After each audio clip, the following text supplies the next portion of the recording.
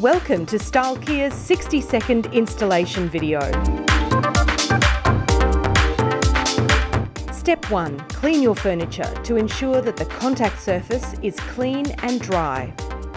Step 2. Measure and mark where the panel will be placed or position it by sight. Step 3. Apply adhesive to the panel. We supply double-sided tape with your panels or you could opt to use a construction adhesive such as Selleys liquid nails. Step 4. Position and gently press the panel into place. The double-sided tape we supply is instant and strong, which means no clamping is required. But it does mean that it's best to position the panel correctly the first time. The final step is to admire your creation. Take a photo of your furniture and tag Stylkea on social media.